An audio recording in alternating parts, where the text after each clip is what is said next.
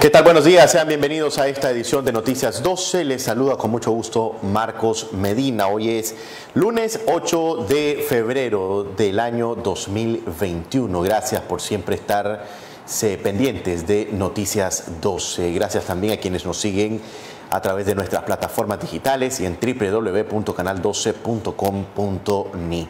Tenemos mucha información que presentarles sobre los acontecimientos que tuvieron lugar este fin de semana, un fin de semana bastante violento. Se registra el asesinato de una joven de 18 años en Río Blanco, esto en el departamento de Matagalpa. Y justamente con esta triste noticia vamos a iniciar nuestro informativo y es que hablamos de la joven que lleva o que llevaba por nombre eh, o con iniciales CHC. Hablamos de una joven de 18 años quien es víctima de femicidio en nuestro país y hasta enero se contabilizaban cuatro en lo que va de este 2021. El cuerpo de la joven fue lanzado a una zanja de Río Blanco en el municipio de em, Matagalpa, en el municipio de Río Blanco, departamento de Matagalpa. La madre de la víctima eh, lloraba desconsolada luego que encontraran el cuerpo de su hija al fondo de un barranco.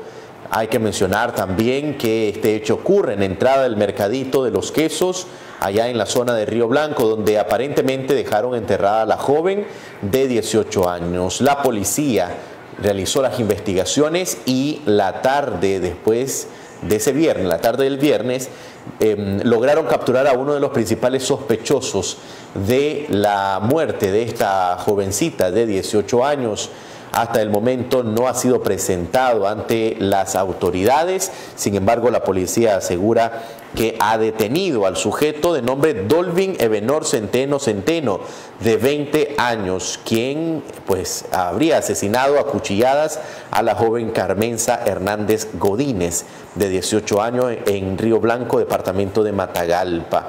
Importante mencionar que según algunos medios oficialistas, el ciudadano ahora detenido y acusado por la muerte de eh, esta joven habría confesado este horrendo crimen.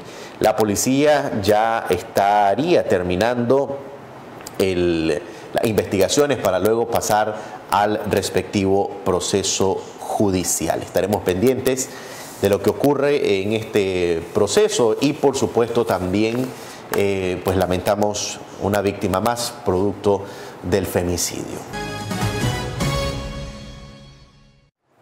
Estamos de regreso con más información. Pedimos nuevamente disculpas por los inconvenientes técnicos. Ahora sí les presentamos el material en torno al informe de la Oficina de la Alta Comisionada de Naciones Unidas para los Derechos Humanos, donde insisten en que el Estado debe cumplir las recomendaciones hechas ante las Naciones Unidas.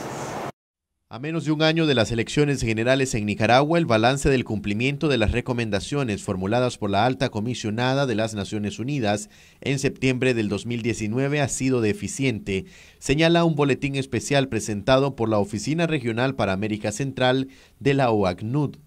El boletín señala cómo, a pesar de algunas señales positivas de distensión, tales como liberación de personas detenidas por hechos relacionados con las protestas de 2018, el balance aún es deficiente, constatándose que el Estado ha implementado muy pocas medidas en los ámbitos que cubren recomendaciones tales como el respeto y la restitución de derechos y libertades, la rendición de cuentas por graves violaciones de derechos humanos y las reformas legislativas e institucionales, incluida la reforma electoral.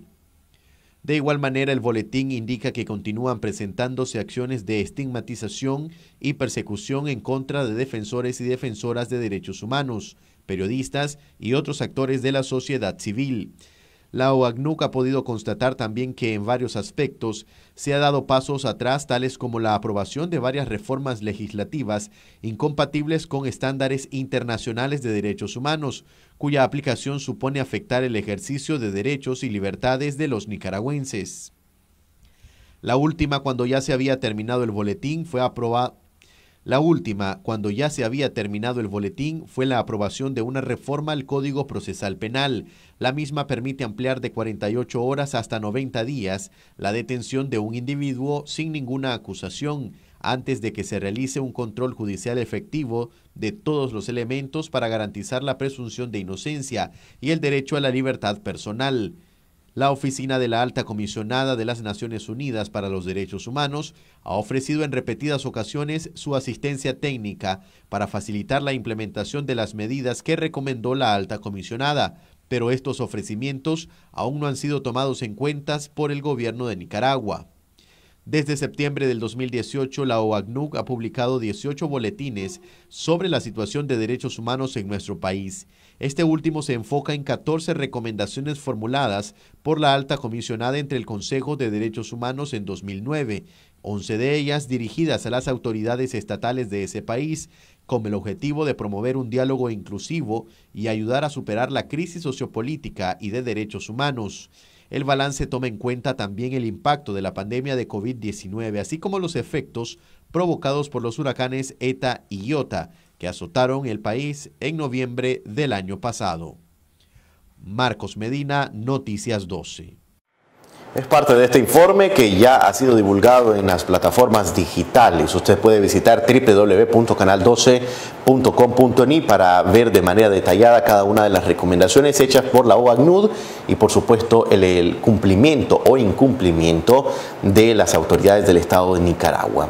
Seguimos con más informaciones. Lo hacemos ahora presentándoles un encuentro que sostuvieron más de 100 productores de diferentes zonas de nuestro país con autoridades del ejército. La principal demanda de los productores es detener el abigeato. Veamos.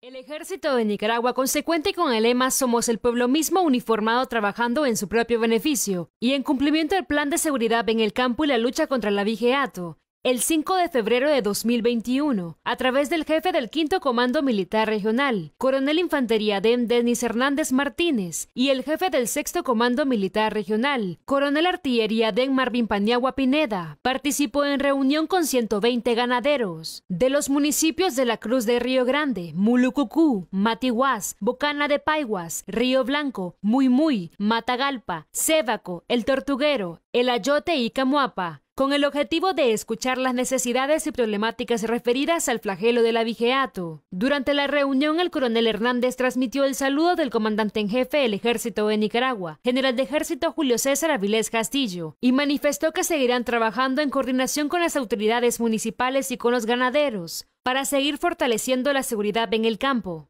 Excelente esta, esta reunión, la exponencia de las preocupaciones de todo el sector ganadero y la demanda, pues como sector pedimos que lo sigan apoyando en las diferentes comunidades rurales para enfrentar este flagelo de la delincuencia organizada y pedimos nosotros que a medida vaya pasando el tiempo lo sigan apoyando en las montañas, tener allí el ejército. En cumplimiento de las misiones y tareas, todo por la patria, en defensa de la patria y la institución, firmeza y cohesión. Muy bien, en otras informaciones, miembros del Consejo Político de la Unidad Nacional Azul y Blanco han tomado posesión de sus cargos esta mañana tras someterse a elecciones internas el pasado 31 de enero acá en la capital. Según el Comité Electoral, estas elecciones transcurrieron con completa transparencia y hubo participación activa de cada uno de las organizaciones miembros de la UNAV. Esta mañana fueron presentados y juramentados. Tendrán la misión de buscar la unificación de las fuerzas democráticas en nuestro país. Veamos. En relación a la pregunta de eh, qué es el Consejo Político y cuáles son sus funciones, pues el Consejo Político es eso, una instancia política que eh, está mandatado a seguir las decisiones estratégicas que la Asamblea Ciudadana de la Unidad Nacional eh, decide. Es decir, este Consejo Político no es autónomo, se debe a una Asamblea Ciudadana. Esa Asamblea Ciudadana es la que dicta eh, las pautas de actuación política de este órgano. En esa línea, en diciembre del año pasado se hizo una asamblea vinculante que orientó dos líneas de trabajo para este año. En primer lugar, el fortalecimiento organizativo de las estructuras de la unidad nacional para enfrentar cualquier escenario. Eso incluye también prepararnos para un escenario electoral. La segunda decisión estratégica que la Asamblea Ciudadana de la Unidad mandató para este nuevo Consejo Político eh, tiene que ver con fortalecer la unidad de las fuerzas de oposición en este país para salir de la dictadura. Esos son los dos mandatos estratégicos y amplios que estas 12 personas que estamos hoy aquí tenemos que hacer realidad en conjunto con todas las estructuras, en conjunto con todas las organizaciones y sectores que conformamos esta plataforma llamada Unidad Nacional. Tenemos distintas funciones, cada uno de nosotros ejercerá distintos papeles, tenemos que eh, eh, pues, decidir, vamos a hacer unas sesiones de traspaso también para ver qué específicamente va a hacer cada uno de nosotros como órgano colegiado. Una de las acciones que la Unidad Nacional Azul y Blanco está llevando a cabo es precisamente reuniones de acercamiento, no solamente con la diáspora y el exilio de Estados Unidos, sino también hemos sostenido reuniones periódicas y regulares con la diáspora y el exilio en Costa Rica, asimismo con la diáspora y el exilio en Panamá. Para la Unidad Nacional Azul y Blanco, un tema prioritario de agenda es establecer los mecanismos pertinentes que le permitan a nuestros hermanos nicaragüenses en la diáspora y el exilio participar de forma activa, con voz y voto dentro de estos espacios, porque los nicaragüenses de la diáspora y el exilio también son parte de este proceso y está en nuestra agenda seguir estableciendo no solamente mecanismos de acercamiento, diálogo e intercambio con nuestros hermanos, sino también extenderle la invitación a ser parte de la Unidad Nacional Azul y Blanco. Las puertas siempre van a estar abiertas para ellos. Cerramos con Lorenzo Vega de Canal 14. Sí, yo solo quería retomar la pregunta de Noel en el tema de los postulantes. Hasta el momento, ¿quiénes son los postulantes que ya tienen ustedes para el tema del, candidato que van a, llevar en este caso en el proceso de las primarias de la coalición nacional? Fíjate que cerró el proceso hoy, creo, en la mañana. Entonces hay un comité electoral que nos va a anunciar, pero estamos todavía en pues no sabemos quiénes se postularon eh, para precandidaturas lo sabremos igual que ustedes. No, no, todavía no sabemos quiénes son los que se postularon. De momento tenemos el nombre de Félix, que ya lo saben todos ustedes, pero el comité electoral va a anunciar si hay más precandidatos. De momento no, no sabría Hoy, en la tarde seguro ya vamos a tener la lista, pero sí sabemos de Félix, pues, que es un precandidato, pero no sé si hay más habría que especificarlo el comité electoral, que es quien recibe de manera eh, directa eh, esa precandidatura. Sí. Sí, la unidad, su primer enfoque es crear la democracia. La verdad es que no podemos demandar democracia en Nicaragua si no iniciamos desde la casa. Hemos estado tratando de construir hasta formar un comité electoral que va a ser el garante de todo este proceso. Sería muy fácil entrar al caudillismo y decir, fulano de tal va a ser nuestro candidato, pero queremos erradicar, queremos terminar con el caudillismo, queremos terminar con la cúpula, y es por eso de que ya tenemos un proceso interno, y no solamente al candidato a la presidencia, sino para candidato a la diputación, candidato al cual nosotros nos sometimos a un proceso electoral. Así que yo creo que lo más importante no es saber en este momento quién es el candidato, sino que cómo salió ese candidato, cómo fue electo ese candidato lo que sí le podemos garantizar como Consejo Político y Unidad Nacional Azul y Blanco, que la persona, el hombre o la mujer que va a ser nuestro precandidato o nuestra precandidata va a ser electa por mayoría de votos y a través de un proceso democrático. En otras informaciones, pero siempre en temas políticos, la policía ha impedido la organización de estructuras territoriales del partido C por él en Estelí. Veamos.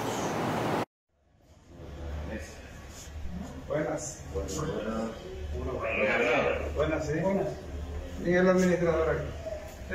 Soy conmigo. Sí. No se puede realizar ningún evento Sí, de hecho ya se lo Está bien. ¿A qué se debe, comisionado, la cancelación? ¿Y usted quién es? No Soy periodista. Enséñeme su cédula. El Ciudadano por la Libertad tenía programado una reunión con las estructuras del partido de todos los municipios del departamento de Estelí. Y la sorpresa que nos llevamos, pues, que la policía llegó, el comisionado eh, Alejandro Ruiz, y canceló, le dijo al hotel que cancelaban el evento. Eh, nosotros hablamos con él y le preguntamos por qué razón, pues, que estaba violando los derechos constitucionales de los nicaragüenses, que estaba violando el derecho como partido que tenemos de hacer las reuniones bajo techo y que eh, verdaderamente la decisión que él estaba tomando ahí era una decisión que está violando pues los derechos de nosotros. Yo creo de que esta es una medida más de este gobierno dictatorial tratando de asediar, de amenazar, de amedrentar, de no dejar que nos reunamos los nicaragüenses que tenemos el derecho de reunirnos. Y no nos van a detener, vamos a seguir haciendo las reuniones como lo estamos haciendo en, todo, en todos los municipios de Nicaragua y creemos de que eh, eh, estas decisiones lo que hacen es más bien que el pueblo de Nicaragua, ¿verdad?, lo repudie, que la comunidad internacional repudie la actividad que eh, están haciendo como gobierno tratando de amedrentar a los nicaragüenses para que no nos organicemos. Es la denuncia de algunos miembros del partido C por L, quienes fueron impedidos de realizar una reunión territorial en el departamento de Estelí. Hacemos una breve pausa comercial. Al regresar tendremos más información. La CPDH ha acudido nuevamente al Ministerio de Gobernación, esto para tratar de lograr su inscripción como agente extranjero según la nueva normativa. Los detalles de lo que ha ocurrido se los tendremos al volver.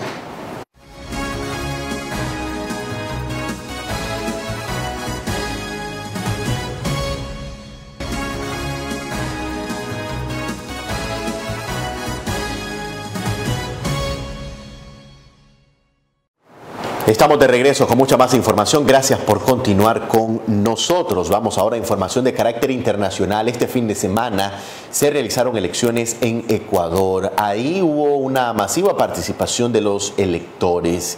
Los resultados preliminares emitidos por la autoridad electoral indican que el candidato del correísmo ha tomado la delantera en relación a los otros candidatos, que en este caso serían los de la oposición. Hay que mencionar que estos resultados preliminares indican que habrá una segunda vuelta donde se disputará nuevamente la presidencia o el oficialismo retorna al poder o la oposición mantiene el poder. Veamos el reporte. La participación fue masiva, nada sorpresivo, pues en Ecuador el voto es obligatorio. Los comicios de este domingo fueron inéditos, marcados por las restricciones sociales y celebrados en medio de la segunda ola de coronavirus en el país. Los votantes llevaban mascarilla, pero era casi imposible mantener el distanciamiento físico. Los protocolos sanitarios no fueron suficientes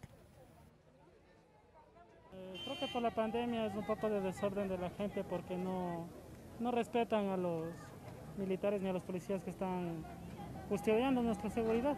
No hay distanciamiento social, todo el mundo se revuelve. No es lo que decían en las noticias, lo que uno esperaba. Me tocó mucho tiempo, una colin, y con este solazo estuvo terrible. Más de 600 nuevos centros de votación se habilitaron para esta elección, en un intento por aligerar el flujo de votantes. También se capacitó personal para orientar a los ciudadanos y a nivel nacional se desplegó un operativo de seguridad que contó con unos 90.000 efectivos. Pero eso no basta para restaurar la confianza en las instituciones. Muchos dudan de la transparencia de estos comicios. Esperemos que sean confiables, porque realmente como ecuatoriano yo tengo muchas dudas realmente que esto sea transparente en forma total. Pero parece que esto está manejado a ciertos intereses que el pueblo ecuatoriano sabe. En este sentido, las autoridades electorales al anunciar los resultados del primer boletín ratificaron que los comicios fueron justos y que se respetará la voluntad de los ecuatorianos. A ejercer su derecho al sufragio. La actuación del Consejo Nacional Electoral es una actuación limpia, respetando la decisión del pueblo, el voto de cada uno de los ecuatorianos, eh, a pesar de todos los problemas que hemos tenido en una situación de pandemia, en una situación de una crisis financiera, el Consejo Electoral está cumpliendo. Pero ellos no confían en el CNE, son los seguidores del candidato Yacu Pérez. Tan pronto se conocieron los resultados, se concentraron frente a la sede del organismo para defender y celebrar lo que ya dan por sentado, el pase del representante indígena a la segunda vuelta.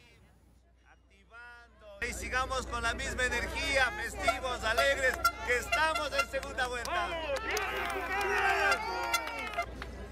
Una fiesta precipitada porque los números anunciados no permiten todavía definir los resultados de este domingo. Ahí teníamos los resultados preliminares de las elecciones en Ecuador. Vamos ahora a los Estados Unidos. Ahí continúa tomando fuerza el juicio político en contra del expresidente Donald Trump. Ya hay testigos que incluso han expresado su relato del asalto a Capitolio que mm, fue motivado presuntamente por el presidente Trump. Veamos parte de estos testimonios. El 6 de enero de 2021, una multitud entró en uno de los lugares más seguros del mundo, el Capitolio de Estados Unidos. El instigador era nada más y nada menos que el presidente Donald Trump, quien ahora se enfrenta a un juicio político. Ese día Remington Belfort y su jefa, la congresista demócrata Yvette Clark, solo escuchaban gritos y golpes. Ambos habían visto cómo los seguidores de Trump se abrían paso por los pasillos del Congreso, Así que corrimos a la oficina y luego por el altavoz básicamente dijo, obstruyan la entrada de sus oficinas, aléjense de las ventanas y las puertas y por favor no usen aparatos electrónicos. Durante horas esperaron en una oficina del Capitolio a que la policía y el ejército desalojara a los asaltantes. Encendimos la CNN, por supuesto en silencio y lo más bajo posible, y vimos cómo los asaltantes asediaban algo que es tan sagrado en nuestra democracia. Mientras, muy cerca, el congresista demócrata Adriano Espaillat podía ver algunos de los manifestantes desde su oficina. Y dos policías vinieron a mi oficina para tratar de llevarme a un sitio como un búnker donde estaba llevando a los otros legisladores, pero decidí quedarme en mi oficina con mi equipo. El día del asalto, el Congreso se preparaba para ratificar formalmente la victoria de Joe Biden en las elecciones presidenciales. Sin embargo, a mediodía, Trump dio un discurso y volvió a agitar sus mentiras sobre fraude electoral, para luego pedir a cientos de manifestantes que se dirigieran al Congreso. Dentro del Capitolio había mucha incertidumbre, así lo cuenta la reportera colombiana Alejandra Arredondo de La Voz de América. Las autoridades ni siquiera estaban tratando como de ver cómo le iban con eso, nosotros como encerrados, como Dios, ¿qué vamos a hacer acá? Finalmente, hacia las 8 de la tarde, las autoridades declararon que habían recuperado el control sobre el Capitolio. Fue una de las jornadas más convulsas en la historia de Estados Unidos, en la que murieron cinco personas y por las que Trump volverá a enfrentarse a un juicio político. En otras informaciones, una tormenta de nieve ha paralizado casi a los Países Bajos y también está poniendo en jaque a Inglaterra y Alemania. Veamos las impresionantes imágenes. El mar furibundo y la nieve cubriendo hasta la arena de la playa. Buena parte de Europa sufrió este fin de semana un azote polar que tiñó de blanco amplias zonas de Alemania, Holanda y el Reino Unido. La Bestia del Este parte 2, así es como el humor británico ha bautizado esta tormenta, provocada por vientos fríos procedentes de Rusia. En el este de Inglaterra, varios centros de vacunación contra la COVID echaron el cierre sin avisar. Tenía cita esta tarde a las cuatro y media y me arriesgué a venir, dice este hombre, frustrado por haber hecho el viaje en vano. En Alemania, las intensas nevadas y las temperaturas bajo cero pusieron en jaque a varias regiones del oeste y el norte del país, convirtiendo las carreteras en peligrosas pistas de hielo. Hubo cientos de accidentes, al menos 28 personas resultaron heridas. La policía intervino para cortar el tráfico en varias autopistas. Hay fuertes ráfagas de viento y nieve. Las carreteras están resbaladizas, explica este agente de carreteras. Las autoridades están haciendo todo lo posible para mantener las vías abiertas. No obstante, se aconseja a los ciudadanos renunciar a los desplazamientos si no son absolutamente necesarios. En Francia, el problema no fue la nieve, sino la lluvia, que ha desbordado ríos y provocado graves inundaciones en varias localidades de la región de Charente-Maritime, en el suroeste del país. Cientos de personas tuvieron que ser evacuadas.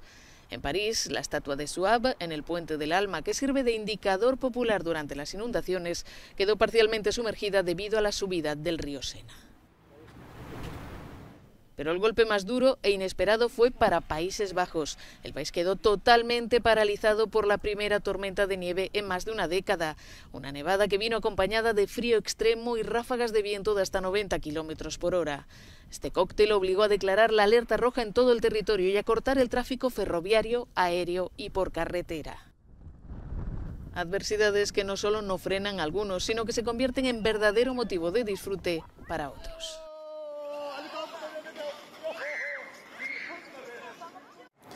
Ahí teníamos estas impresionantes imágenes de la tormenta que está afectando los Países Bajos.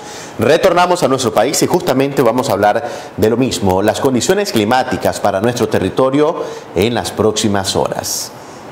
Buenos días, estas son las perspectivas meteorológicas esperadas para hoy, febrero 8 del año 2021. Desde el Observatorio de Fenómenos Naturales OFENA les damos a conocer a ustedes estas perspectivas. Continuamos teniendo siempre presencia de sistemas frontales o frentes fríos, como es el número 34 localizado en el Golfo de México. Eh, lo tenemos localizado en una forma semiestacionaria debido a que tenemos una alta presión que está cubriendo parte del territorio mexicano como también el territorio de Centroamérica con este sistema de anticiclón. En horas de la noche manteníamos el día de ayer siempre eh, la presencia de este anticiclón como también un canal de baja presión y se mantiene el frente frío número 34 siempre estacionario en la zona del Golfo de México. Para el día de hoy, lunes 8 de febrero, se mantiene siempre estacionario en la zona del Golfo de México, mientras tengamos pues esta presencia de estas altas presiones sobre el territorio de Centroamérica. Las temperaturas mínimas al amanecer el día de hoy de 23 a 25 grados centígrados en Occidente, Managua hacia arriba de 21 a 24 grados centígrados, de Ocotal hacia Somoto de 17 a 19 grados centígrados, Estelí, Matagalpa, Jinotega de 16 a 18, de Huaco hacia San Carlos de 20 a 23 grados centígrados, Triángulo Minero de 17 a 22 grados centígrados, de La Yote hacia San Carlos de 22 grados centígrados y en la zona del Caribe de 24 a 25 grados centígrados. Las temperaturas máximas en el occidente promedio entre 32 a 35 grados centígrados, de Managua hacia arriba de 27 a 30 grados centígrados, Ocotal y Somoto 27 a 28 grados centígrados, Estelí Matagalpa y Jinotega de 22 a 25, Buaco de 26 a 29 grados centígrados, Triángulo Minero de 25 a 28 grados centígrados, de La Yote a Nueva Guinea de 26 a 27 grados centígrados y en la zona del Caribe mantendremos pues temperatura de 26 a 27 grados centígrados. En relación a la ráfaga de viento, el promedio de ráfaga de viento desde la zona de Cotal hacia Huigalpa, como también de Managua hacia arriba, estará un promedio de 61 kilómetros por hora, ráfagas ocasionales y superiores a esta velocidad durante el transcurso del día de hoy lunes. En relación a las posibilidades de precipitaciones, pues algunos chubascos o lluvias ligeras en la zona del Triángulo Minero, como también el Caribe, y se mantienen algunas aisladamente desde la zona de Cotal hacia Huigalpa y de Managua y Notepe algunas posibilidades de algunas precipitaciones Tendremos marea alta a las 5.56 minutos de la mañana con 1.7 metros y tendremos otra marea alta a las 6 de la tarde con 22 minutos de 2.0. La marea baja será a las 11 de la mañana con 53 minutos con 0.2 metros. En el comportamiento de la luna tenemos en actualmente luna menguante, eh, tenemos posibilidad de luna nueva el 11 de febrero, el 19 de febrero cuarto creciente, luna llena el 27 de febrero. El próximo eclipse lunar total será el 26 de mayo tenemos un índice de ultravioleta extremo de 11, lo cual recomendamos siempre usar eh, ropas claras, mantener gorras, gafas de protección para sus ojos, usar protectores solares, mantenerse en la sombra en los tiempos posibles y evitar salir en las horas centrales del día, entre las 11 a las 4 de la tarde, que es la mayor tendencia que tenemos de posibilidades de, golpe de calor. La persistencia de estas altas temperaturas puede ser siempre peligrosa para los bebés y los niños pequeños, personas mayores, como también personas que tienen enfermedades crónicas como diabetes, padezcan de hipertensión o del corazón. Recuerden siempre usar protector solar, mantenerse en lugares frescos y si en un caso está en algún lugar de bastante soleado, use paraguas como también utilizar las gafas para su respectiva protección de sus ojos. También recordemos que las temperaturas mínimas al amanecer van a estar siempre afectándonos, principalmente a los niños y a los adultos mayores, que son más vulnerables y ante los cambios de estas temperaturas. Recuerde que con las fuerzas de los vientos hay que mantenerse siempre, de asegurarse eh, la vista con algunos lentes para en caso que tengamos partículas que puedan afectar nuestra visión, alejarse de corrisas como también de muros o de árboles o tendidos eléctricos y si va a viajar, tener siempre precaución en la carretera, informarse siempre con las condiciones meteorológicas que se están dando en la zona que las damos a conocer siempre aquí en Ofena. En relación a los síntomas del COVID, recuerden que tenemos tres síntomas muy característicos, una temperatura alta, tos seca y dolor en la garganta. Si en un caso está usted estornudando, siempre al toser o estornudar, utilice siempre su codo eh, uso pañuelos desechables y depositarlos en los lugares correspondientes, evitar tocarse los ojos, la nariz y la boca y lavarse las manos siempre con bastante agua y jabón. Vamos ahora a otras informaciones. Tal y como le mencionábamos antes, la Comisión Permanente de los Derechos Humanos continúa denunciando el bloqueo del Ministerio de Gobernación para que esa institución, la CPDH, se inscriba como agentes extranjeros según la normativa que entró en vigencia a finales del 2020. Esta mañana representantes de la institución, la CPDH, llegaron hasta gobernación para denunciar a las autoridades que no les permiten realizar los trámites respectivos. Veamos. En estos momentos acaba de salir la doctora Vilma Navarrete, presidenta de la Comisión Permanente de Derechos Humanos, donde nos dará declaraciones en torno a si aceptaron o no el documento de apelación, donde se solicita que eh, se dé el permiso de operación a CPDH bajo esta nueva ley de agentes extranjeros. Doctora, ¿qué fue lo que le... Doctora, coméntenos por favor qué, qué fue lo que le dijeron en el Ministerio de Gobernación. Bueno, lo que se me dijo ahorita fue que no me pueden recibir eh, del recurso porque faltan pues algunas algunos documentos que completar y entonces que no pueden recibir el documento hasta que no esté toda la, todo lo, que están pidiendo ahí. Según ellos, según los funcionarios, ¿cuáles son los, eh, los documentos que faltan? Bueno, los mismos de siempre y como no tenemos la constancia pues todavía porque no, no la han entregado, ¿verdad? El ministerio, entonces estamos. Ya que la jovencita me imagino que está grabando como parte del Ministerio de Gobernación, le hacemos el llamado a la ministra que nosotros lo que estamos presentando es un recurso de apelación porque hemos presentado en tiempo y forma cada una de las informaciones que nos han pedido. Y cada día nos piden información adicional, el cual consideramos que es un abuso de parte del Ministerio de Gobernación, de tal manera que nosotros no queremos estar al margen de la ley y uno de los requisitos que pide la constancia y cumplimiento y definitivamente hacemos el llamado que sea flexible en cuanto a no seguir boicoteando el trabajo en la autorización de la CPDH para seguir evidenciando la violación de Hoy no han querido recibir el recurso de amparos y de apelación, nos llegamos al recurso, no los han recibido, nos vuelven a decir que necesitan más información, ya no sabemos qué información quieren, porque al final y al cabo hemos cumplido en tiempo y forma cada una de la información que nos piden. Esta es una táctica dilatoria, es una táctica para que nosotros no podamos cumplir como ellos pretenden, que no podamos inscribirnos como agentes extranjeros. Fueron declaraciones de Marcos Declaraciones de doctor Marcos Carmona en compañía de Vilma Navarrete. Ahí teníamos a miembros de la CPDH en las afueras del Ministerio de Gobernación. Hacemos un nuevo corte comercial al regresar más detalles de lo que acontece en nuestro país.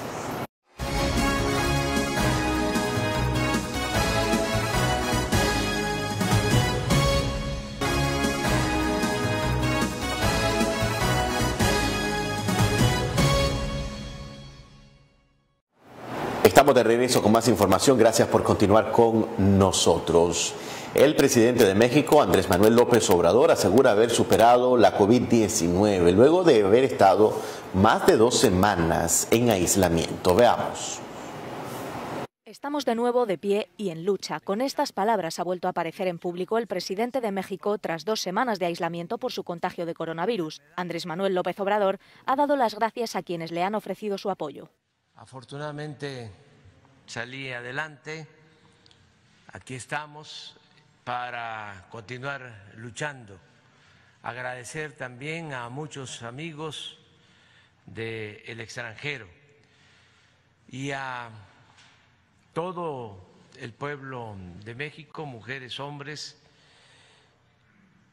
que expresaron su deseo de que me recuperara y de que saliera adelante. Estamos eh, de nuevo de pie y en lucha. El gobierno mexicano fue criticado por la opacidad sobre el estado del mandatario que desde que anunció que estaba enfermo de COVID-19 el pasado 24 de enero insistía en que apenas tenía síntomas. Sin embargo, su silencio causó preocupación. Ya salí negativo. López Obrador fue además criticado por su laxa gestión de la pandemia y su reticencia a seguir las medidas recomendadas como el uso de mascarilla o la distancia social. Su campaña de vacunación tampoco está siendo como se esperaba. Pese a haber sido el primer país de América Latina en recibir la vacuna contra la COVID-19, empezando a vacunar a los sanitarios ya en diciembre, el ritmo se ha reducido a poco más de 4.000 dosis diarias. México, con un balance de 166.200 muertos y cerca de 2 millones de casos confirmados de COVID-19, es el tercer país del mundo con más fallecidos. En otras informaciones, esta vez de carácter nacional, los sindicalistas esperan que haya consenso entre las partes involucradas en el ajuste de negociación al salario mínimo de los trabajadores. De lo contrario, la ministra del Trabajo será quien determine cuál será el porcentaje que se ajustará a la clase obrera. Veamos. Con mi pyme continúa con el 1%, sin embargo, la Asociación Pro Desarrollo Sostenible de Nicaragua, PRODENI, hizo una propuesta del 2.99, lo cual se acerca a la propuesta de la CST. Sin embargo, como el FNT y el MUSIG, el Movimiento Sindical de Nicaragua, no han presentado propuesta, ¿verdad? Eh, hay tres propuestas. La Economía PYME, el 1%, la ASOPRENIC, el 2.99%, la CST, el 3%. Sin embargo, la propuesta de la CST son apoyadas por otras centrales sindicales, ¿verdad? independientes e autónomas que están respaldando pues, la propuesta del 3%. Sin embargo, nosotros queremos, ¿verdad? para no seguir que la clase trabajadora nicaragüense siga sufriendo de estas reuniones de todos los jueves, ¿verdad? Consideramos que este jueves puede llegar a un consenso entre todas las organizaciones sindicales y las organizaciones que no han presentado propuestas también, que la presenten el día jueves y que también eh, la Conmi PYME eh, se acerquen a la propuesta nuestra, la CST y la SuperNIC, para de esa forma buscar el consenso y que firmemos este jueves eh, el salario mínimo pues, de consenso. De alguna manera, digamos, si no se ponen de acuerdo este mismo jueves, la ministra podría determinar de cuánto... Bueno, tendríamos hasta el 28 de febrero, porque la ley habla de dos meses que para estar este, sentándole en la Mesa Nacional del Salario Mínimo en caso de que siga pues que no hay eh, entre las tres partes, ¿verdad? Algún entendimiento, entonces pasaría pues de que la ministra, la ministra del Trabajo va a ser la encargada pues el 28 de febrero, si no hay acuerdo, de decretar el salario mínimo, pues por lo cual yo considero que no va a ser así y que con mi pyme va a reconsiderar su propuesta, pues, y los otros sectores del movimiento sindical, pues también van a presentar propuestas para llegar este jueves, ¿verdad?, a la mesa del salario mínimo para firmar de consenso, pues, y que todos los trabajadores, la clase trabajadora nicaragüense, tenga ajuste salarial a partir del primero de marzo de este año. Ustedes estaban proponiendo un 3%, así esperan que los demás pues lleguen a ese consenso. Sí, ya modificamos, ¿verdad? Eh, y otras centrales sindicales independientes autónomas están respaldando la propuesta nuestra y también como ese gran conglomerado de empresas que se llama Asociación eh, para el Desarrollo Sostenible de Nicaragua, donde están empresas grandes, pequeñas y medianas, ellos propusieron el 2.99. Bien, en otras informaciones vamos a presentarles a una niña que ha sido reportada como desaparecida. En imágenes usted verá la fotografía de la niña Brenda María Cerna, Cerda Martínez. Repito, Brenda María Cerda Martínez, de 15 años de edad. Sus padres, Delvin José Cerda y su madre, Sonia del Carmen Martínez, informaron sobre esta desaparición a este medio de comunicación. La niña se perdió en Hacienda La Esperanza en Jinotega Ella es de Boaco. Su familia está muy preocupada, puesto que la menor tendría problemas mentales. Cualquier persona que sepa, eh, por favor, eh, hacer llegar esta información a em, las redes sociales de Noticias 12 para nosotros comunicárselo a la familia y en breve también estaremos divulgando el contacto de los padres de esta niña. Repetimos, la niña que usted ve en imágenes de mi, em, a ver, Brenda María Cerda Martínez, de 15 años de edad, ha sido reportada desaparecida por sus padres. La niña se perdió en Hacienda La Esperanza, en Jinotega, ella es de Boaco y su familia se encuentra muy preocupada porque la menor pudiera tener problemas mentales. Cualquier información, hacerla llegar a las redes sociales de Noticias 12, donde nos estaremos contactando con los familiares de esta niña que ha sido reportada como desaparecida a través de este medio de comunicación. Vamos ahora a presentarles las variaciones en los principales productos de la canasta básica.